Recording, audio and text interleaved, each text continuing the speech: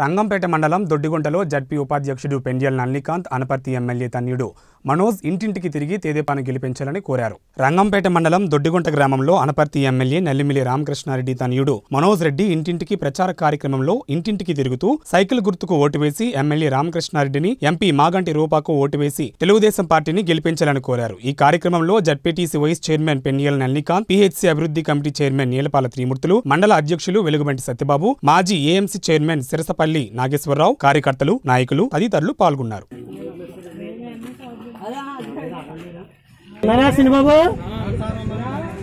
ఆగండి నిల్చొని ఉండే. రెండు నిమిషాలు నిల్చొని. ఎమ్మెల్యే గారు అబ్బాయి అండి రామకృష్ణారెడ్డి గారు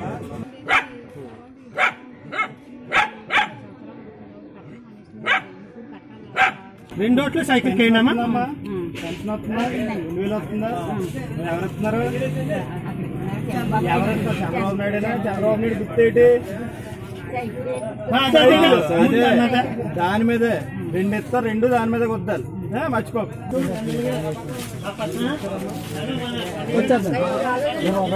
ఇప్పుడు మీరు అర్జీ పెట్టుకున్నారు. అది పడింది అది ఇది అవుతుంది అంటేనే గవర్నమెంట్ నుంచి రూపాయలు వేస్తారు. ఇప్పుడు మనకి కేంద్ర ప్రభుత్వం నుంచి సాయం లేదమ్మా. దాని గురించి వాళ్ళు సగం అమౌంట్ వేయాలి వాళ్ళు అది మనకి వేయట్లేదు ఖచ్చితంగా ఇవి ఖచ్చితంగా వేస్తారు మర్చిపోతాం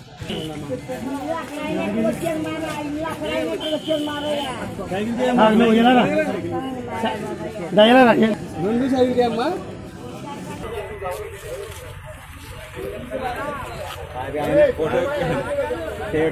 రామకృష్ణారెడ్డి గారి నాయకత్వం. రామకృష్ణారెడ్డి గారి నాయకత్వం.